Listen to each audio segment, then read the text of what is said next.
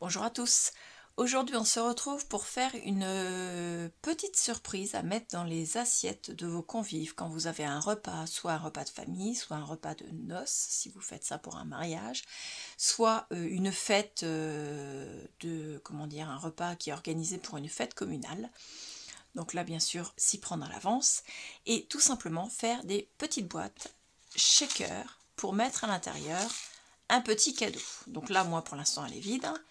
Le shaker à l'intérieur, c'est bien sûr euh, des sequins et des... Moi, j'ai mis des, micro-perles, des micro-billes, plus exactement. C'est une décoration de Noël, mais vous pouvez parfaitement faire une décoration avec des cœurs pour faire une décoration mariage, une décoration euh, campagnarde pour faire euh, un repas de famille, ou simplement euh, avec un papier design qui soit enfantin, si c'est un repas de baptême ou chose comme ça. Et ça, vous le posez dans l'assiette. Et ça fait son job, parce que moi je trouve que ça se fait super plaisir aux invités de trouver quelque chose dans leur assiette qui décore, d'une part, pour leur faire un petit cadeau, donc soit un petit cadeau, soit un chocolat, voilà, ou même des dragées, pourquoi pas des dragées tout simplement, parce qu'on a quand même une boîte qui est quand même assez grande. Et cette boîte, elle est très facile à faire, donc on va voir ça tout de suite.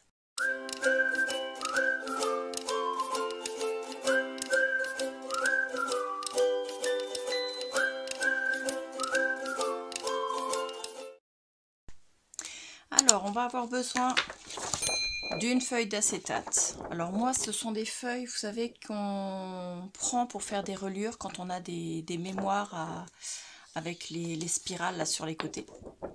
Donc j'ai un paquet comme ça, donc je m'en sers euh, quand je fais du bricolage. On va avoir besoin également de deux feuilles A4.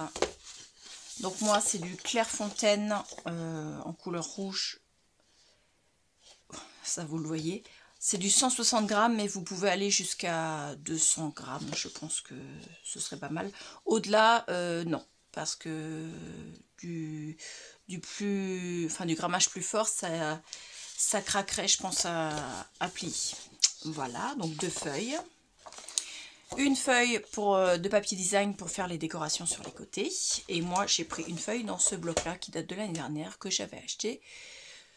Parce que je pensais que je pourrais en faire quelque chose. Et au final, euh, tous les pélicans, enfin, les, pas les pélicans, les... Si, c'est des pélicans, je crois. Il y a des palmiers, des choses comme ça. Enfin bon, euh, des petits chats, des choses comme ça. Des lamas, des perroquets, tout ça, il y a même des licornes. Tout ça, moi, ça fait pas Noël, parce que je suis team euh, Noël traditionnel. Du coup, je m'en suis pas servi, donc là, je vais faire des petits bricolages en prenant les feuilles qui n'ont pas de, personnages dessus, et les autres, je pense que je ferai des plus euh, des découpes ou des cartes pour, euh, pour envoyer. Alors, on va commencer. On va d'abord découper dans la première feuille A4 un, papier de 12 sur 12. Ce papier, on va lui faire des plis.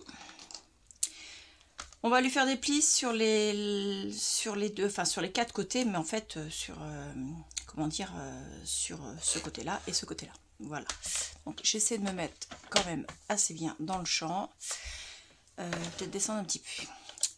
Alors, on va faire un premier pli à 3 cm et un autre à 9 cm. On a donc le côté de 3 cm, le côté de 3 cm et la boîte qui fera 6 cm. Et comme c'est une boîte qui fait 6 sur 6, on va refaire un pli en tournant d'un quart de tour à 3 cm et à 9 cm. On a donc un, un, carré de 3 sur 3, un rectangle de 3 sur 6, un autre carré de 3 sur 3, idem ici, et ici, on a un rectangle de 3 sur 6, un carré de 6 sur 6 et un rectangle de 3 sur 6. Ensuite, on va découper. Alors, le premier carré de 3 sur 3, on le découpe jusqu'au 3 cm. Et on fait pareil de l'autre côté, ici, de façon à voir comme ceci. On fait pareil de ce côté-ci. Ensuite, on marque les plis.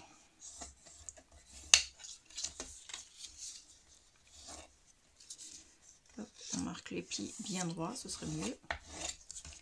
Voilà, et on marque aussi dans l'autre sens. Également les petits carrés.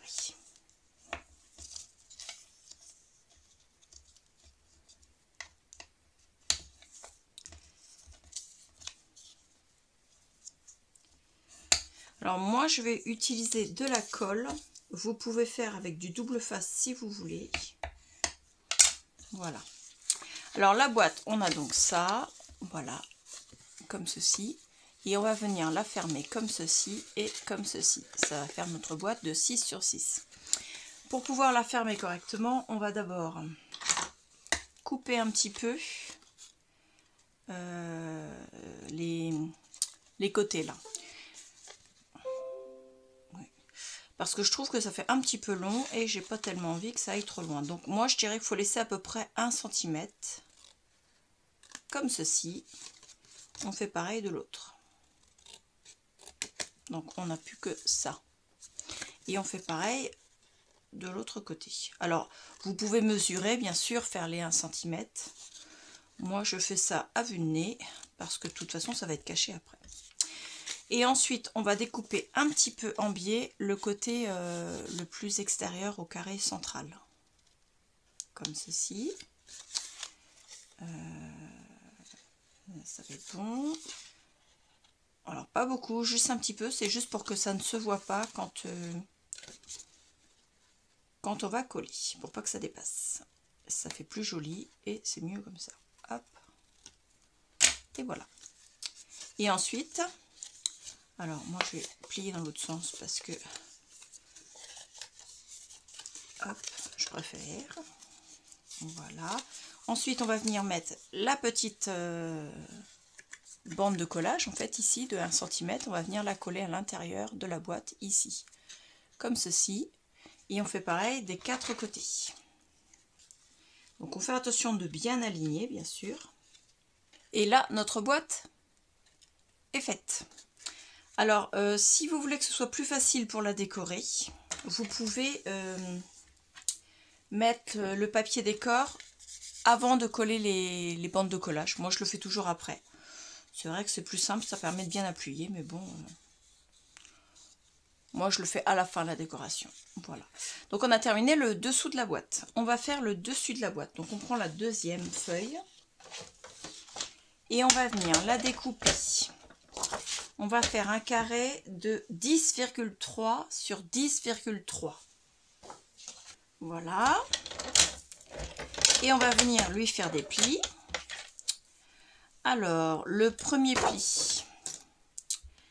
Je regarde en même temps sur mon papier pour pas me tromper. Il faut faire un pli à 2 et un pli à, à 8,3. Donc, le pli à 2. Voilà. Et si vous voulez pas vous embêter à faire le pli de l'autre côté à 2, ce que vous pouvez faire, c'est vous faites votre pli à 2, vous tournez d'un quart de tour, vous faites votre pli à 2, un quart de tour, votre pli à 2, un quart de tour, votre pli à 2. Et là, vous avez votre pli à 2 et à 8,3. Ça, on va pouvoir le découper comme pour l'autre boîte.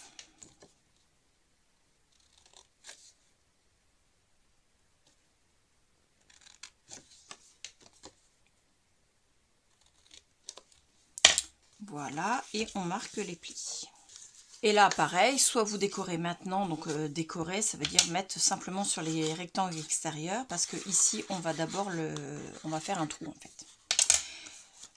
Donc pour faire le trou au milieu, on va faire des marques. Alors moi, je prends un stylo effaçable. Alors, euh, vais plier la première partie comme ceci. Et je vais faire une marque à 1 cm des plis ici c'est à dire à 3 cm hop. Donc vous avez votre pli qui est ici et vous avez votre marque à 1 cm après donc à 3 cm du bord. Ensuite vous retournez vous faites pareil ici donc à 3 cm pareil. Ici. Et pareil. Ici. Euh, hop. Moi je vais me servir de ma règle en T. Si vous n'avez pas de règle en T Vous pouvez faire également une marque ici en face de celui-là à 1 cm ici, c'est-à-dire à 3 cm du bord ici. Et pareil en face ici, pareil en face ici, pareil en face ici. Moi j'ai fait que 4 parce que je vais me servir de ma règle. Vous faites votre marquage.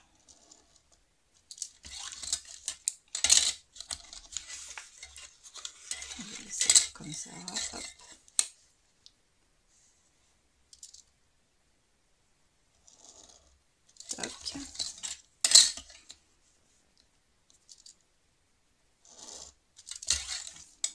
Et donc vous allez obtenir un carré au centre du carré central de 6 cm et le carré au milieu va faire 4 cm de côté. Ce qui est normal puisque vous avez 1 cm ici, 1 cm ici, donc il reste plus que 4 au milieu. Voilà. Une fois que vous avez ça, alors il me faut une autre règle que celle en plastique, un cutter, voilà. Vous allez découper le carré central. On va découper en diagonale le carré central. Donc vous mettez d'angle à angle et vous coupez. Vous faites pareil dans l'autre diagonale. Alors ça, c'est pour éviter le centre. Pourquoi on fait comme ça au lieu de simplement découper? Parce que en repliant ici, ça va nous permettre d'avoir un bord très net, au lieu d'avoir un bord découpé qui serait un petit peu haché. Ensuite, une fois qu'on a fait ça, on peut marquer le pli.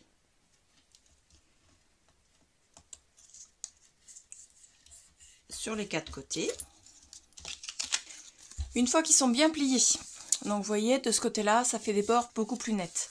Je plie ces côtés-là, comme ceci, et je viens rabattre un petit peu l'oreille qu'on vient de plier de chaque côté, de façon à pouvoir couper l'excédent puisque ça va dépasser sinon. Une fois que j'ai fait ça, donc j'ai ma petite marque, là, le petit oreille qui va être plié, je vais découper un petit peu avant pour euh, que ça frotte pas sur les bords. J'enlève à peu près 2 mm avant.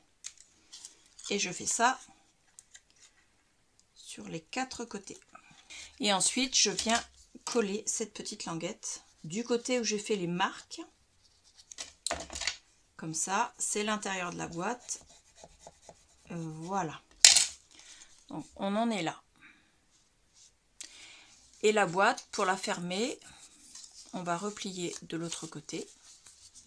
Et on va pouvoir venir coller les quatre angles, comme ceci, à l'intérieur. Et on aura donc notre couvercle. Alors là, j'ai du mal à le mettre parce que c'est pas collé. Hein. Comme ceci. Donc pour l'instant, on a une boîte avec une ouverture, mais c'est pas encore un shaker. On va faire la partie shaker. Pour l'instant, on laisse ça de côté. Pour la partie shaker, il faut prendre un papier de 10 sur 10. Et donc, j'avais bien assez avec une seule feuille. Donc, euh, la deuxième feuille, au final, je pensais que j'allais avoir besoin d'un petit surplus. Il n'y a pas besoin. Sur ce petit carré de 10 sur 10, on va faire un pli à 1 cm. Ensuite, un pli à 2 cm. Ensuite, un pli à 8 cm. Et enfin, un pli à 9 cm. On tourne d'un quart de tour et on refait exactement les mêmes plis. 1 cm, 2 cm, 8 cm et 9 cm. Voilà. Alors, sur ces carrés-là, on a ici quatre petits carrés de 1 cm sur 1 cm. Celui de l'angle, on va le découper, on n'en a pas besoin. Ensuite, celui qui est juste à côté ici, au bord, on n'en a pas besoin non plus. Et celui-là, non plus. On va juste garder celui qui est ici. Et on fait pareil sur les quatre côtés. Donc, euh, je ne sais pas si vous allez les voir. Voilà, les carrés sont là. On garde celui qui est vraiment ici. Le carré. Alors, attendez, je m'en remette comme j'étais.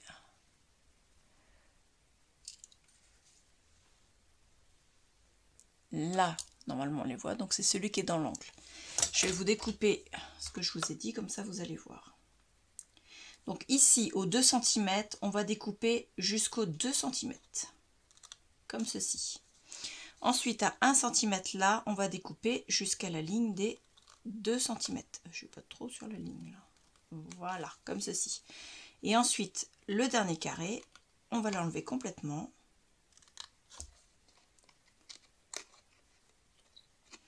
Et on a donc ceci avec celui-là qui est tout seul, qui est détaché. Voilà. Et on fait pareil pour les suivants. On a donc enlevé les quatre côtés avec à chaque fois la petite languette qui est détachée. Voilà.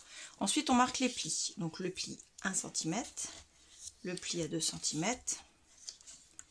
Hop, hop.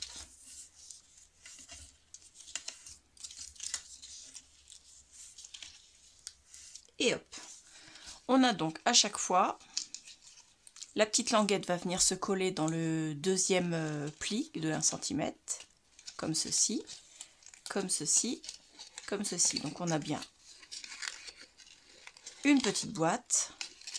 Et là, au-dessus, on va venir coller les quatre angles de la languette qu'on a fait la première, va venir se fermer au-dessus comme ça.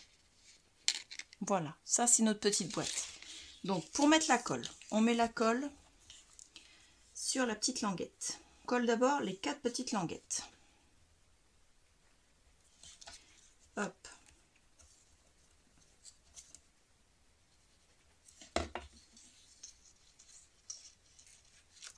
En faisant attention bien sûr de bien mettre les angles. Une fois qu'on a collé les quatre côtés, les quatre languettes, on va venir abattre deux côtés face à face. Voilà, on va mettre de la colle sur les bords des deux autres côtés. Bien en face, ça sert à rien de dépasser. Et on va venir rabattre de façon à coller la languette de droite et de gauche sur les languettes de haut et de bas, en respectant bien sûr les angles on a de ce côté-ci une boîte et de ce côté-ci une boîte. la boîte est ouverte, mais elle a le rabat comme ça. Ça, ça va venir se placer comme ceci à l'intérieur du couvercle. Mais avant de mettre à l'intérieur du couvercle, il va falloir faire l'acétate. Donc l'acétate, on va prendre un carré pour l'acétate de 6 par 6. On a notre petit carré d'acétate. Alors, euh, vous n'allez peut-être pas le voir, mais bon, il est entre mes doigts euh, là à là, et pareil, de là à là. Lui, on va venir le coller à l'intérieur du carré, là on a rabattu nos petites languettes. Pour ce faire, on va coller sur le bord de l'acétate du double face, euh, qui soit pas trop large, et si possible, qui soit costaud. Donc moi, je vais mettre du 0,5 en extra fort, donc le rouge. Donc on se colle bien au bord de l'acétate. Comme ceci. Donc on a donc notre carré d'acétate avec son carré de double face. Et on va venir le coller à l'intérieur, comme ceci, pour faire la fenêtre. Et là, cette fois-ci, ce sera fermé. J'ai enlevé deux côtés et j'ai juste enlevé les oreilles du dernier côté. Je place mes côtés où j'ai pas enlevé le, scotch en laissant la languette dépasser à l'extérieur. J'applique là où j'ai enlevé déjà le double face et ensuite je tire sur les languettes. Donc ça y est, il est collé. On a donc notre fenêtre qui est fermée de ce côté-là, donc du côté euh, extérieur de la boîte. Ensuite, on va reprendre ça. On va venir lui mettre du double face. Donc moi, pareil, je prends de l'extra fort. Au niveau des languettes, là. On fait attention, bien sûr, que le double face ne vienne pas dépasser du côté intérieur, là où on a fait fait, le carré intérieur de la boîte. Parce que sinon, les sequins qui vont être à l'intérieur vont se coller. On fait attention aussi que les quatre morceaux de double face ferment bien le carré. Ensuite, on va mettre à l'intérieur une décoration. Alors, je vais prendre dans cette planche de stickers que j'ai acheté la dernière fois à Action. Et je vais mettre à l'intérieur le Merry Christmas. Là. Je vais le coller. Alors oui, j'aurais pu le coller avant, mais je vous l'ai dit, moi je fais pas les choses forcément dans l'ordre. Et je le colle. On essaie de le centrer, voilà, à l'intérieur. Donc ça, on va plus en avoir besoin non plus. Ensuite, on prend des Alors moi, je vais mettre des sequins à l'intérieur. C'est un mélange. Il y a des petits cœurs, il y a des sequins de toutes les couleurs, dont du bleu, puisque je vais mettre mon papier euh, qui est bleu. Il y a aussi de l'argenté et il y a des microbilles qui sont un peu roses. Donc ça devrait faire. Je vais mettre ça dedans. Euh, voilà. Bon, je vais mettre tout, hein. je peux en garder qu'un tout petit peu.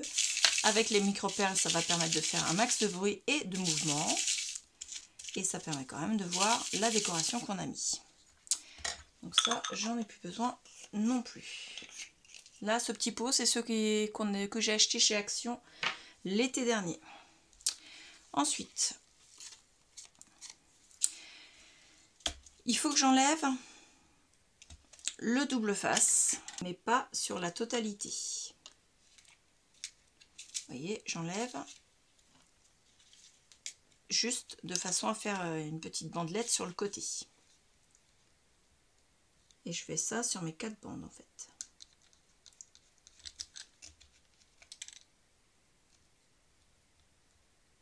Et on met la petite réglette, enfin la, petite bandelette qu'on enlève on la met sur le côté extérieur de la boîte. Donc on a bien nos quatre petits double faces qui sont légèrement décollés.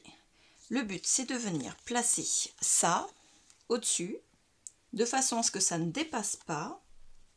Les 4 cm de la fenêtre viennent s'ajuster sur les 4 cm de notre petite euh, fenêtre. Une fois qu'on est bien placé, on vient enlever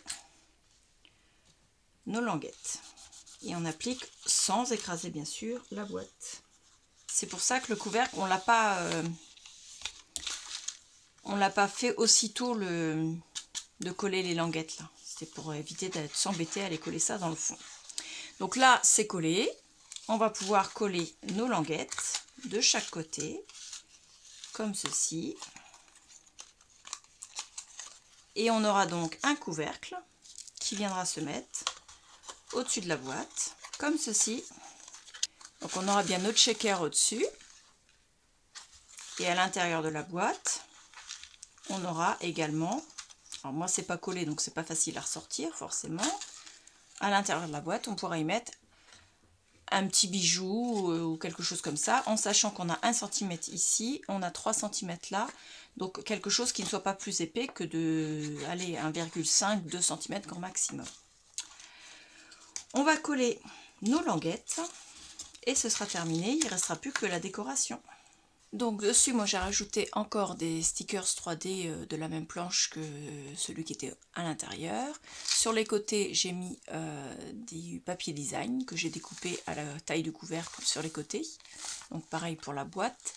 Et j'en ai mis au fond, même si c'est pas obligatoire sur le fond, mais bon, euh, au pire, si vous faites cette boîte pour Noël, vous pouvez marquer la date, enfin mettre un papier plus clair sans design et puis marquer simplement la date et puis chez qui euh, le repas se faisait.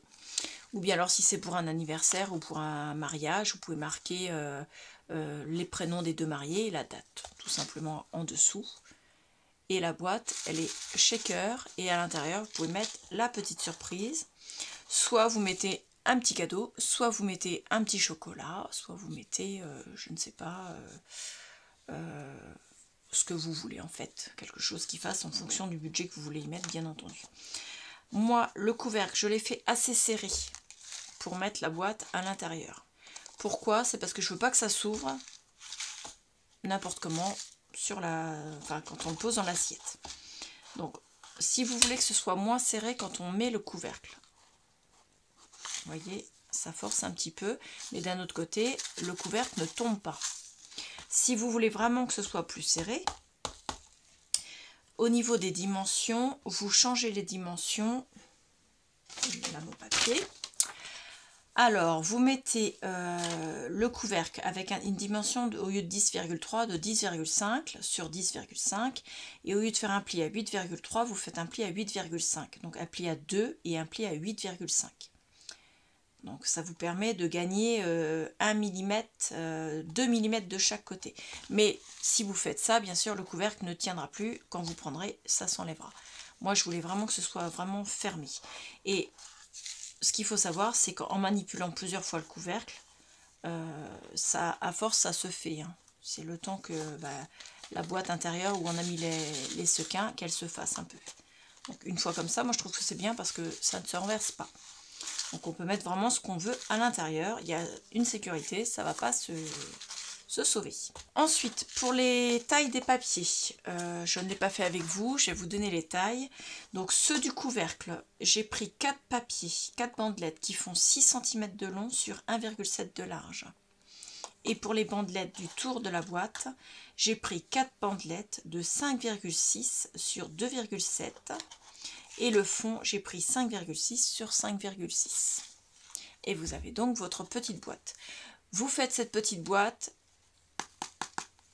pour, euh, comment dire, pour une personne, pour deux personnes, pour 20 personnes, 50 personnes, si vous êtes 50 dans la pièce. Donc prenez-y vous un petit peu à l'avance pour préparer toutes vos boîtes, si c'est pour mettre euh, dans les assiettes pour tous vos convives. Si c'est pour un mariage, d'autant plus vous y prendre vraiment très à l'avance parce que bien sûr, euh, si vous avez, je sais pas, 10 invités à un mariage, c'est pas la même chose que si vous en avez 150 ou 200 comme font certains gros gros mariages. Moi, c'était pas le cas on était beaucoup moins nombreux. Mais bon, euh, il faut quand même faire les boîtes un petit peu à l'avance, ça prend un petit peu de temps quand même. Voilà. C'est beaucoup de matériel de chez Action, à part bien sûr euh, le Clairefontaine, mais là vous avez aussi du cardstock euh, de couleur qui se vend chez Action, qui est en format un petit peu plus grand que le papier A4 et qui est plein de couleurs. Vous n'êtes pas obligé de faire la même couleur pour tous vos convives. Et euh, l'acétate, si vous ne voulez pas acheter de l'acétate en dehors de chez Action, vous prenez des feuilles de plastifieuse que vous plastifiez et vous pouvez découper dedans, ça fait de l'acétate. Voilà l'astuce. Donc j'espère que cette petite boîte euh, shaker cadeau vous aura plu. Moi, je la trouve très sympathique. Je trouve qu'elle est vraiment très très bien. Euh, après, vous pouvez mettre des sequins ou autre chose à l'intérieur du moment que ça bouge. Hein. Si vous n'avez pas de sequins, vous pouvez très bien prendre des petits confettis que vous ferez vous-même avec des, perforatrices, tout simplement. Et puis voilà, donc euh, la boîte est faite, on peut mettre un petit cadeau à l'intérieur et magie Voilà, et moi je trouve que dans une assiette, ça le fait... Voilà. Donc je vous remercie beaucoup, j'attends vos commentaires, me dire ce que vous en pensez. Et puis je vous dis à très bientôt. Au revoir.